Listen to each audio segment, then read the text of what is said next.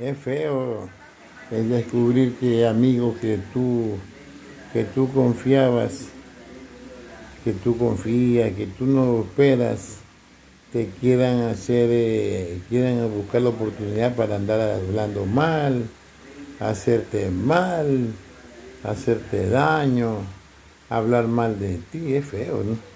A mí me está pasando últimamente eso con una persona que se ha dedicado, supuestamente amigo mío, se ha dedicado a, a hacerme daño, a andar hablando mal de mí.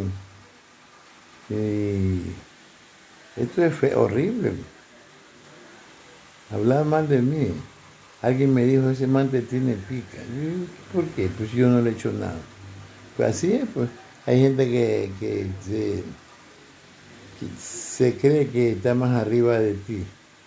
Y puede ser verdad que tenga más conocimiento, tenga más plata, más todo, y esté arriba de uno. Pero uno no se puede dedicar a hacerle daño a la gente, porque uno se cree más inteligente, se cree más pila.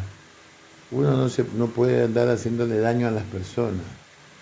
Pero es horrible saber, ver, saber que alguien anda hablando, anda hablando mal de ti. Bueno, a mí no me gusta reclamar, yo dejo nomás que la gente hable mal. Yo antes sí reclamaba, ahora ya no. ¿Para qué? Si tengo un Dios todopoderoso que dice, deja que mía es la venganza. Yo no puedo estarme vengando de la gente. Lo que sí, lo que sí me gusta es alejarme de las personas. Alejarme. No puedo, tú no puedes estar al lado de una persona que tú sabes que, que, tú le caes mal. Te ha demostrado que tú le caes mal, aunque te finge amistad. Y tú te das cuenta que tú le caes mal, esa persona aprovecha la menor ocasión para hacerte daño, para hablar mal de ti. Tú tienes que alejarte. Tienes que alejarte sabiamente. ¿Tú cómo vas a andar con una persona al lado, al lado de una persona que, que te anda haciendo, te quiere destrozar, te quiere acabar? Aunque conmigo no lo van a, no lo van a lograr, porque yo tengo a Dios.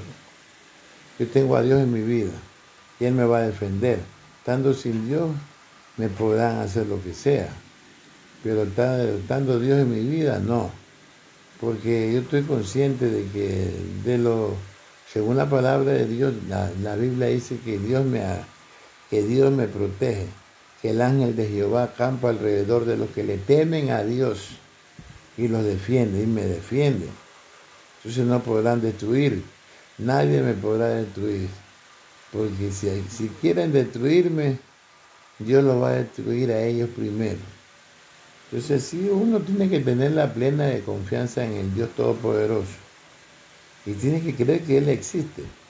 Porque la gente dice, no, que Dios no existe, que quieren, se creen tan, tan importantes que creen que, que quieren que Dios venga y le diga, oye, yo soy Dios, ¿qué te pasa? Mí.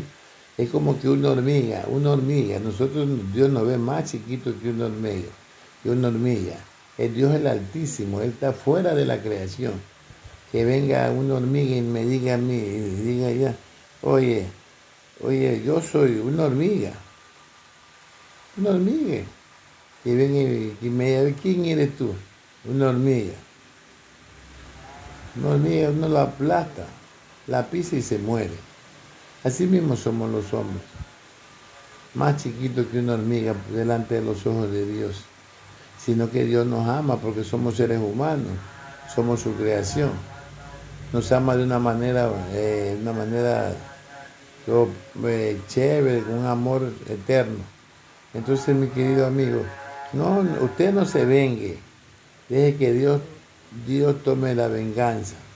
Usted déjelo nomás que la gente hable mal de usted, que no reclame. Yo no reclamo. Deja de que no reclame, hágase el sordo, el loco, pero aléjese de esa persona que le, que le quiera hacer daño. Aléjese, no se junte con, con los malos, porque los malos solamente piensan en maldad. Eh, Los pensamientos de ellos son de continuo, continuamente el mal, hacerte daño, hacer mal. No están tranquilos mientras si no hacen daño, si no hacen maldades. Bueno, Dios me lo bendiga.